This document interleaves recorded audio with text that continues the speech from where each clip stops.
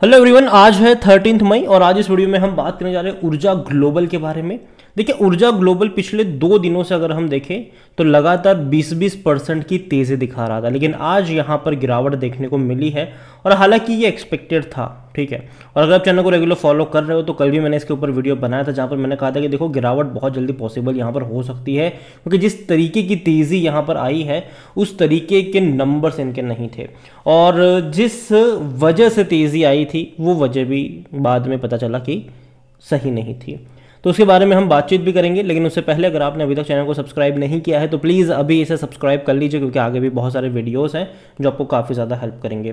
तो ऊर्जा ग्लोबल आज तकरीबन सात परसेंट की गिरावट दिखा रहा है। पिछले एक महीने में अगर हम देखें तो रॉकेट की तरफ़ भागा है। अभी भी तकरीबन 54 परसेंट का ग्रोथ ज़रूर है।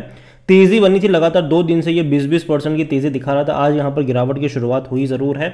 और गिरावट की वजह यहाँ पर है, जो जो वजह तेज़ी की थी। जो कन्फ्यूज़न था ऊर्जा ग्लोबल में यहाँ पर कि भैया टेस्ला के साथ इनकी डील हुई है। हालाँकि डील हुई ज़रूर है टेस्ला के साथ, लेकिन ये इलॉन मस्क वाली टेस्ला नहीं है। ये जो है टेस्ला पावर इंडिया के साथ इनका डील हुआ है यहाँ पर which some investor mistook as US automaker Tesla तो अगेन जो इलॉन मस्क वाली टेस्ला है, इससे इनका कोई लेना देना नहीं है।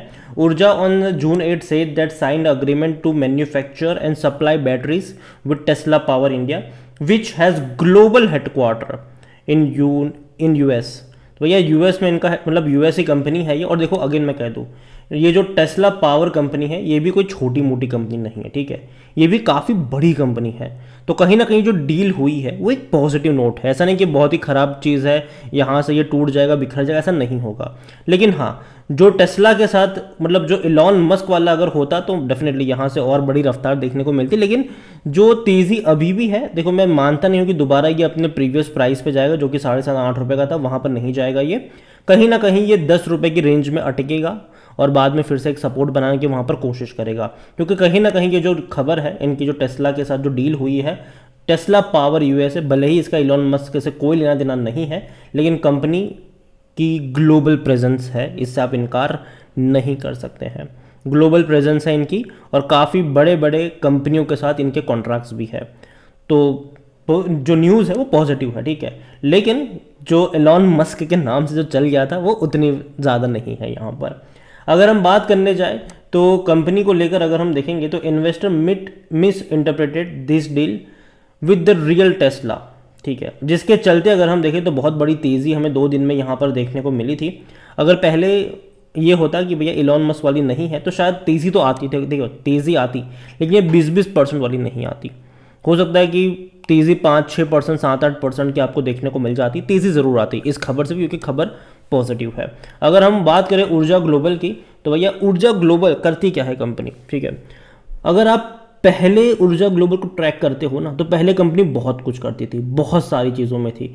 सोलर की बात करो हम होम लाइट मतलब लाइटिंग वगैरह की बात करो वाटर हीटर वगैरह की बात करो, बहुत कुछ करती थी। लेकिन अभी इनकी वेबसाइट पर अगर हम चलते हैं तो कंपनी का मेजरली दो है इलेक्ट्रिक व्हीकल्स और बैटरीज जिसमें ई रिक्शा बैटरी की हम बात कर ले, या फिर टू व्हीलर्स बैटरी की अगर हम बात कर ले यहाँ पर। इलेक्ट्रिक व्हीकल्स में भी भैया इनके खुद के बाइक्स वगैरह है ज़रूर, लेकिन फिर भी उतने ज़्यादा चलेंगे नहीं, ये मैं पहले ही बोल रहा हूँ। मुझे लगता है कि जो बैटरी वाला काम है उनका, यहाँ पर शायद पोटेंशियल निकल कर आ सकता है।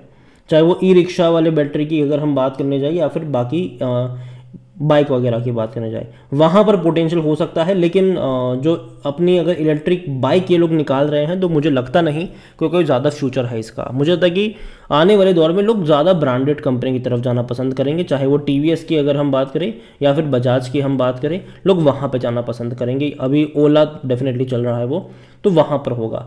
ऊर्जा मुझे लगता है कि लोग थोड़ा सा अवॉइड करेंगे बाइक खरीदने के मामले लेकिन जो बैटरी वाला बिज़नेस है, जहाँ पर ये लोग स्विच कर रहे हैं वो कहीं ना कहीं अच्छा साबित हो सकता है इनका।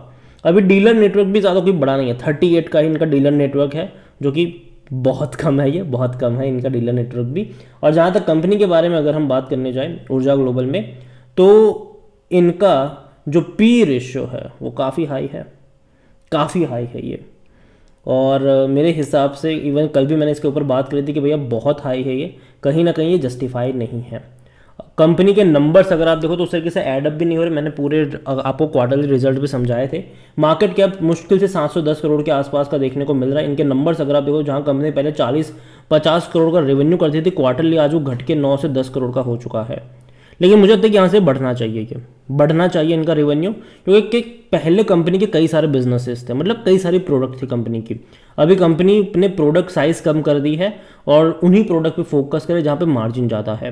तो यही वजह कि पहले 40-50 करोड़ के रेवेन्यू में भी इनका जो प्रॉफिट था, वो कुछ था नहीं, लाखों में था मतलब 22 लाख 20 लाख ऐसा ही था। और अभी क्या है कि कंपनी धीरे धीरे अपना प्रॉफिट बढ़ा रही है जो कि अभी भी साठ लाख के आसपास, हालाँकि लास्ट क्वार्टर में काफ़ी कम था, सिर्फ़ नौ लाख का ही प्रॉफिट हुआ था इन्हें। और अगर आप देखो तो लगातार इनके डिक्लाइन आया है इनके रेवेन्यू में। जो 2020 में एक सौ पैंसठ करोड़ का रेवेन्यू था 2023 आते आते ये सिर्फ़ 40 करोड़ में सिमट चुका है। लेकिन प्रॉफिट वाइज अगर देखा जाए तो ये ग्रो हुआ है। जहाँ पर पहले क्या था कि भैया एक सौ पैंसठ करोड़ का रेवेन्यू में भी इनका जो प्रॉफिट था, वो मुश्किल से था एक करोड़ बारह लाख का। अभी भले ही चालीस लाख का आसपास का इनका रेवेन्यू है सॉरी चालीस करोड़ के आसपास का रेवेन्यू है, लेकिन प्रॉफिट उससे ज़्यादा है, डेढ़ करोड़ के आसपास का मतलब प्रॉफिट वाइज ग्रो हो रहे हैं ये, जो कि अच्छी बात है। और जहाँ तक बात करी जाए कंपनी में तो शेयर होल्डिंग पैटर्न की तरफ़ से तो भैया प्रमोटर लगातार बिकवाली भी कर रहे हैं यहाँ पर। अगर आप देखोगे तो प्रमोटर ने लगातार बेचा है। 31.97 परसेंट की होल्डिंग थी, फिर 30.45 पर आ गए, फिर 30.18 पर आ गए अभी 28.65 तो काफ़ी बड़ी क्वांटिटी प्रमोटर ने यहाँ पर बेची है और खरीद रहे हैं रिटेल इन्वेस्टर 68 से 71.34 पर आ गए यहाँ पर। डी की बात करें तो zero point zero one percent की होल्डिंग यहाँ पर देखने को मिल रही है। तो ज़्यादातर जो क्वांटिटी है, वो सिर्फ़ पब्लिक और प्रमोटर ही है यहाँ पर। बड़े बड़े फंड हाउस है ही नहीं एफ़ भी नहीं है डी भी नहीं है यहाँ पर। तो देखा जाए तो अगेन मैं कहूँगा कि कंपनी जो है वो उतनी बुरी नहीं है, ऊर्जा ग्लोबल। लेकिन जो तेज़ी आई थी, पचास परसेंट की आई है, अब थोड़ा सा करेक्शन देखने को मिल सकता है। हो सकता है कि ये दस रुपए के करीब चला जाए, लेकिन वापस ये कुछ टाइम के लिए वहाँ पर रहेगा और फिर घूमना शुरू करेगा। और फिर वापस ऊपर ज़्यादा भी ये नज़र आ सकता है आपको ऊर्जा ग्लोबल का शेयर। तो देखिए, जो खबर आई थी अगेन, वो इलॉन मस्क वाली होती तो बहुत तेज़ी आती, लेकिन वैसा है नहीं। लेकिन फिर भी टेस्ला पावर की अगर हम बात करें तो काफ़ी बड़ी कंपनी है ग्लोबल प्रेजेंस रखती है ये कंपनी और उससे फ़ायदा तो होगा। ऐसा नहीं कि फ़ायदा नहीं होगा, फ़ायदा होगा इनके डेफिनेटली फ़ायदा होगा। इनके नंबर्स जो होंगे रेवेन्यू में वो आपको शूटअप होते नज़र आएँगे। जून में नहीं, उसके बाद के क्वार्टर्स में। क्योंकि अभी तो हुआ है भैया, ठीक है। तो टाइम लगता है सब कुछ करने में। तो उसके बाद कुछ क्वार्टर्स में देखना होगा कि क्या होता है। नंबर्स में एडअप होता भी है कि नहीं। जून क्वार्टर से मुझे कुछ ज़्यादा उम्मीद नहीं है यहाँ पर। मैं एक्चुअली में देखना चाहूँगा इनके सितंबर और दिसंबर क्वार्टर के नंबर को। अगर वहाँ पर चीज़ें बदलती हुई नज़र आती है, तब डेफिनेटली हम उसके बारे में भी बातचीत ज़रूर करेंगे। ऊर्जा ग्लोबल अभी के लिए मैं कहूँगा कि यार खरीदारी के अभी उतने ज़्यादा मौके नहीं हैं। और जहाँ तक बात करी जाए कि गिरावट है, अगर आपने ख़रीदा हुआ है हैवी लॉसेस में हो अगर आपकी हाई लेवल पर बाइंग है तो मेरे हिसाब से आप चाहो तो यहाँ पर रुक सकते हो। और जहाँ तक बात है फ्रेश बाइंग की, अभी के लिए अवॉइड करिए कुछ टाइम के लिए, क्योंकि जैसे ही मैं आप देखिए कि बहुत कम टाइम में जब 60-70 परसेंट की तेज़ी आ जाती है दो तीन दिनों में तो कहीं ना कहीं फिर टाइम लगता है इसको कूल ऑफ़ होने में और कहीं ना कहीं मैं मान के चलाऊँ कि थोड़ा बहुत और करेक्शन यहाँ पर बनेगा तो एक टाइम पे आएगा जहाँ पर वो सेटल होने की कोशिश करेगा और वो जो रेंज होगा वो दस रुपये के आसपास का हो सकता है। पिछले एक साल की अगर हम बात करने जाए तो ऐसी तेज़ी बीच बीच में काफ़ी बड़ी देखने को मिली और इस बार काफ़ी बड़ी रफ्तार थी इस बार की रफ्तार बहुत बड़ी थी और वो भी बहुत ही कम टाइम में थी बहुत ही कम टाइम में थी और इससे पहली अगर देखो तो हर बड़ी रफ्तार के बाद ये गिरा है, ये हर बार गिरा है। इवन अगर पाँच साल का आप डेटा देखो तो काफ़ी बड़ी तेज़ी बनी थी बीच में। शेयर तैंतीस रुपये तक चला गया था, उसके बाद गिरावट देखने को मिली ज़रूर है। और अभी इस बार भी मुझे था कि थोड़ा बहुत बाउंस बैक दिखाने के बाद थोड़ा सा कूल ऑफ़ होकर फिर वहाँ पर रफ्तार पकड़ने की कोशिश उसके बाद करेगा। कंपनी के लिए के लिए जो डील हुई है टेस्ला वाली अगेन इलॉन इलॉन मस्क की कंपनी वो नहीं है, जो कि मेरे हिसाब से एक पॉजिटिव चीज़ है नेगेटिव चीज़ नहीं है।